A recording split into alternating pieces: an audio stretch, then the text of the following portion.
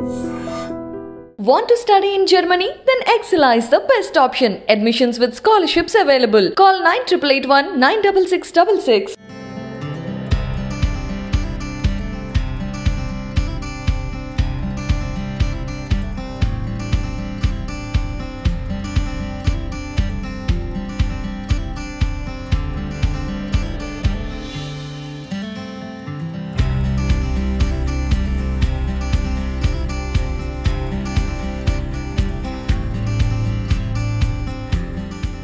మొత్తం ఎండలు ముదిరిపోతున్నాయి.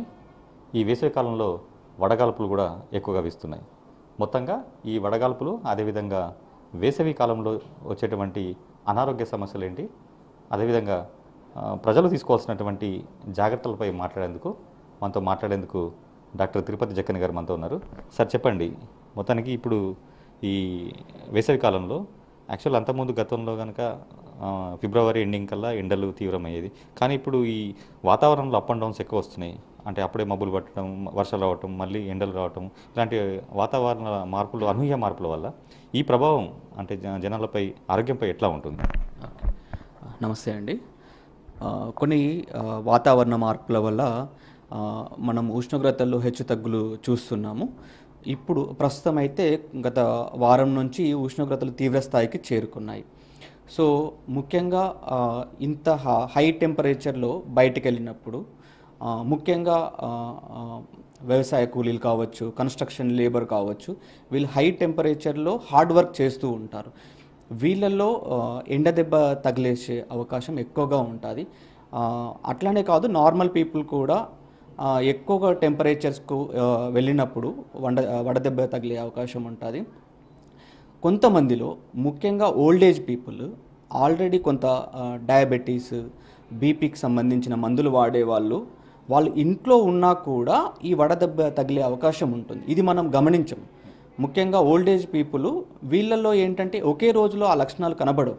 ఒక మూడు నాలుగు రోజులు వాళ్ళల్లో కొన్ని మార్పులు జరిగి మనకు ఈ వడదెబ్బకు సంబంధించిన లక్షణాలు కనబడుతూ ఉంటాయి. అయ్యో వీళ్ళు ఇంట్లోనే ఉన్నారే వీళ్ళకి ఏం బయటకు వెళ్ళలేదు అనుకుంటున్నాం కానీ ఓల్డ్ ఏజ్ పీపుల్లో కూడా వడదెబ్బ ఇంట్లో ఉన్న వాళ్ళల్లో కూడా వచ్చే అవకాశం ఉంటుంది. సో దీన్ని అవాయిడ్ చేయడానికి మనము ఏ జాగ్రత్తలు తీసుకోవాలి? సో అత్యవసరం ఉంటే తప్ప ముఖ్యంగా అత్యవసరం ఉంటే తప్ప మనం బయటకి వెళ్ళకూడదు. ఎక్కువగా టెంపరేచర్స్ ఉండే అవర్స్ మధ్యాహ్నం పన్నెండు గంటల నుంచి సాయంత్రం నాలుగు ఐదు ఆ ప్రా ఆ ప్రాంతంలో మనము బయటకి వెళ్ళకూడదు. ఒకవేళ వెళ్ళాల్సి వస్తే ఒక గొడుగు కానీ ఒక క్యాప్ కానీ వే పెట్టుకోవాల్సి వస్తే ధరించాల్సి వస్తుంది.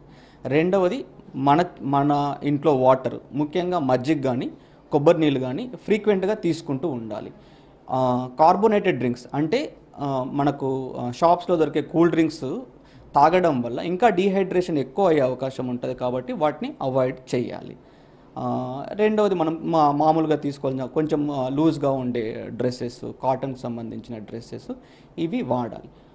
అట్లానే ఒకవేళ మనకు ఈ వడదెబ్బ ఎందుకు తగులుతుంది అని అనుకుంటే మన బాడీ టెంపరేచర్ మెయింటైన్ చేయడానికి ఒక హైపోతలామస్ అనే ఆర్గాన్ ఉంటుంది బాడీలో. ఎందుకంటే మనం హై టెంపరేచర్లో ఉన్న కూల్ టెంపరేచర్స్లో ఉన్న మన బాడీ టెంపరేచర్ అనేది thirty seven point eight degrees దగ్గర మెయింటైన్ అవుతూ ఉంటుంది. ఎప్పుడైతే ఈ బ్యాలెన్సింగ్ మెకానిజం దెబ్బతింటుందో ఎప్పుడైతే మనము హై టెంపరేచర్స్కి కొంచెం ఎక్కువ సమయము మనం గడుపుతామో అప్పుడు ఈ బ్యాలెన్సింగ్ మెకానిజం పోయి మన బాడీ టెంపరేచరు ఏ పెరిగిపోతూ ఉంటుంది. అంటే one naught four degree Fahrenheit వరకు మన బాడీ టెంపరేచర్ పెరుగుతూ ఉంటుంది. అప్పుడు మనలో ఎక్కువగా గుండె ఎక్కువగా కొట్టుకోవడం నాటిని ఎక్కువగా కొట్టుకోవడం తర్వాత బీపీ ఫ్లక్చువేషన్స్ రావడము అట్లానే కొద్దిమందిలో కొద్ది మందిలో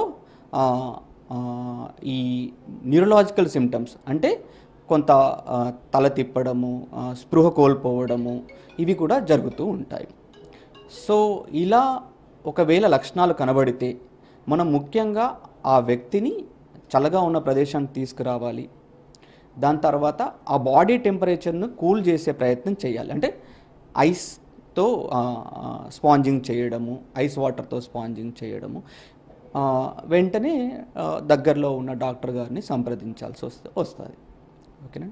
అంటే వడ అంటే వడదెబ్బ లక్షణాలు ఏంటి సార్ ముఖ్యంగా? ముఖ్యంగా వడదెబ్బ లక్షణాలు మనకు ఒకటి బాడీ టెంపరేచర్ పెరగడం ఫీవర్ రావడం.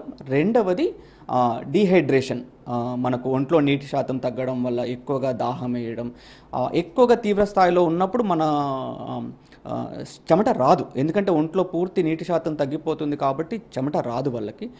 నేను ఇంతకుముందు చెప్పినట్టుగా నాడి ఎక్కువగా కొట్టుకోవడం హెడేక్ రావడం వామిటింగ్స్ రావడం కొద్ది మందిలో మోషన్స్ రావడం మతి స్థిమితం కోల్పోవడం ఇవన్నీ కూడా జరుగుతుంది.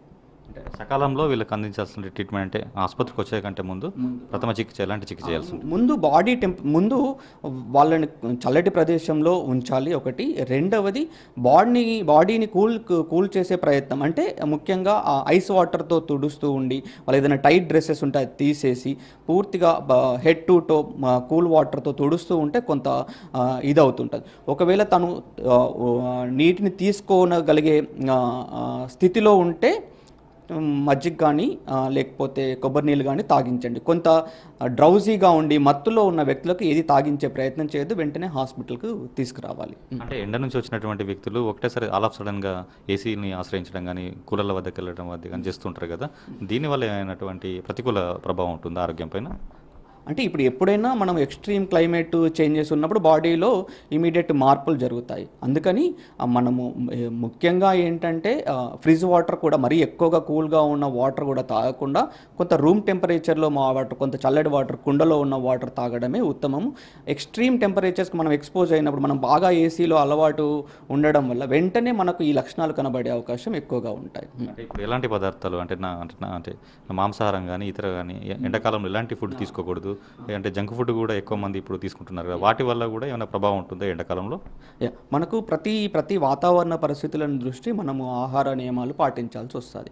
ఇప్పుడు ముఖ్యంగా మనము సమ్మర్లో తీసుకోవాల్సినవి కొంత పొటాషియం సోడియం ఎక్కువగా ఉండే ఫ్రూట్స్ మజ్జిగ తర్వాత సీజనల్గా దొరికే వాటర్ మిలన్స్ కావచ్చు మిగతా లెమన్ జ్యూసెస్ కావచ్చు ఆరెంజ్ జ్యూసెస్ కావచ్చు. ఇట్లా ఇది మన హోమ్ మేడ్ జ్యూసెస్ ఎక్కువగా తీసుకోవాలి వాటర్ కంటెంట్ ఎక్కువగా ఉన్న ఫ్రూట్స్ తినాలి అట్లానే ఈజీలీ డైజెస్టబుల్ వెజిటేబుల్ డైట్ ఎక్కువగా తీసుకోవాలి. ముఖ్యంగా ఆయిల్ ఫుడ్ ఎక్కువగా తీసుకోవడం వల్ల మన జీర్ణశక్తి కూడా తగ్గిపోయి ఈ లక్షణాలు వచ్చే అవకాశం ఎక్కువగా ఉంటుంది. దీర్ఘకాలిక వ్యాధులు ఉన్నటువంటి వ్యక్తులు పర్టికులర్గా ఈ ఎండాకాలం అంటే వడగాల్పు నుంచి తప్పించుకోవడానికి సమ్మర్లో తీసుకోవాల్సిన జాగ్రత్తలు ఏంటి? మంచి ప్రశ్న అండి. ముఖ్యంగా కొంతమంది హార్ట్ డిసీజ్ ఉన్న వాళ్ళు కొంతమంది బీపీ పేషెంట్స్ కొన్ని రకాల సైకియాట్రిక్ మెడికేషన్ వాడే వాళ్ళల్లో ఈ వడదెబ్బ వచ్చే అవకాశం ఎక్కువగా ఉంటుంది. ఎందుకనంటే ఇప్పుడు హార్ట్ డిసీజ్ ఉన్న వాళ్ళల్లో లాసిక్స్ డయూరిటిక్ అనే ట్యాబ్లెట్స్ వాడతారు. ఇది ఏంటంటే ఒంట్లో ఉన్న నీటి శాతాన్ని తగ్గిస్తూ ఉంటుంది. ఇప్పుడు ఇలాంటి పేషెంట్స్ తొందరగా వడదెబ్బకు గురయ్యే అవకాశం ఉంటుంది. అట్లానే ఎక్కువగా లావుగా ఉన్న వ్యక్తులు తొందరగా వడదెబ్బకు గురయ్యే అవకాశం ఉంటుంది.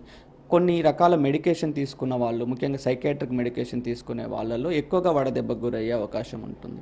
సో అలాంటి వాళ్ళు మిగతా వ్యక్తుల కంటే ఇంకా జాగ్రత్తలు ఎక్కువగా తీసుకోవాల్సి వస్తుంది. ఎక్కువగా నీటి శాతాన్ని ఒంట్లో మెయింటైన్ చేయగలగాలి. అంటే ఇప్పుడు మామూలు వేసవి కాలంలో ఈ వ్యాయామం చేసేవాళ్ళు అంటే జిమ్ కానీ ఇతర చేసేవాళ్ళు ఎలాంటి జాగ్రత్త తీసుకోవాలి? అంటే ఉదయం పూట సాయంత్రం పూట వాకింగ్కి వెళ్ళే వాళ్ళు కూడా తీసుకోవాల్సినటువంటి నియమ నిబంధనలు ఏంటి? ఏంటంటే ఇప్పుడు మనము కొంత టెంపరేచర్ తక్కువగా ఉన్న టైంలో అంటే మనకు మార్నింగ్ ఫైవ్ టు సెవెన్ ఆ మధ్యలో ఎక్సర్సైజ్ చేయగలిగితే మంచిది. అప్పుడు కూడా కొంత మనం ఒంట్లో నీటి శాతాన్ని మెయింటైన్ చేస్తూ వాటర్ ఎక్కువగా తీసుకోవాలి. రెండవది మరీ తీవ్రమైన ఎక్సర్సైజెస్ ఎండ ఎక్కువగా ఉన్నప్పుడు చేయడం వల్ల తొందరగా డిహైడ్రేషన్ గురై వడదెబ్బ గురయ్యే అవకాశం ఉంటుంది కాబట్టి కొంచెం వ్యాయామము మనము నీ చల్లగా ఉన్న ప్రదేశాల్లో చల్లగా ఉండే టైంలో చేయడం ముఖ్యం. ఫైనల్గా ఇప్పుడు అసలు గత కొంత ఏళ్ళ కాలం నుంచి కూడా ఈ వాతావరణంలో అనూహ్య మార్పులు వస్తున్నాయి. మొత్తంగా ఇది మానవుల ప్రజలపైన ఆరోగ్యం పైన కూడా తీవ్ర ప్రభావం చూపిస్తుంది కదా. సో ఎండాకాలం ఎలాంటి జాగ్రత్త తీసుకోవాలి? మనం ఇవన్నీ మానవ తప్పిదాలే కదండి. మనం మనం చేసే పొల్యూషన్స్ కావచ్చు వెహికల్స్ నుంచి వచ్చే పొల్యూషన్ కావచ్చు ఇవన్నింటికి మన ఎవ్రీ ఇయర్ మన సంశీతోష్ణ ప- పరిస్థితుల నుంచి వెళ్ళి ఎండాకాలంలో వర్షాలు రావడము లేకపోతే ఎక్స్ట్రీమ్ టెంపరేచర్స్ రావడం ఇవన్నీ కూడా డెఫినెట్లీ మన మన జీవన శైలిపైన చాలా ప్రభావాలు చూపుతాయి. సో వీలైనంత వరకు నేచర్కి దగ్గరగా బతకడము లేకపోతే మన ప్లాస్టిక్ యూసేజ్ తగ్గించడము మోర్ ఆర్గానిక్ ఆర్గానిక్ ఫుడ్ తినడం వీటి వల్ల కొంత మనం కంట్రోల్ చేయగలుగుతాము. And that's it we can say ఇది మొత్తానికి ఎండాకాలం తీసుకోవాల్సినటువంటి జాగ్రత్తల గురించి తిరుపతి జక్కన్ గారు చెప్పినటువంటి విషయాలు. ఎండాకాలం దీర్ఘకాలిక వ్యాధులు ఉన్నవారు మరింత జాగ్రత్తగా ఉండాలి. అదేవిధంగా వ్యాయామం చేసే వాళ్ళు కూడా కొంత గతంతో పోల్చుకుంటే కొంత తగ్గించి చేయాల్సిన అవసరం కూడా ఉంటుంది. మొత్తంగా ఎండాకాలం అటు వృద్ధులు కానీ పిల్లలు కూడా ఏదైతే పది నుంచి సాయంత్రం ఆరు గంటల లోపు తిరగకపోవడం మంచిదని కూడా ఆయన సూచన జరుగుతుంది. ఎండాకాలం కూడా పూర్తి జాగ్రత్త ఉండాలని కూడా డాక్టర్ తిరుపతి జగన్ గారు సూచిస్తున్నారు. కెమెరామెన్ కిషోర్ కుమార్తో రామకృష్ణ ఐడి న్యూస్ కరీంనగర్ నుంచి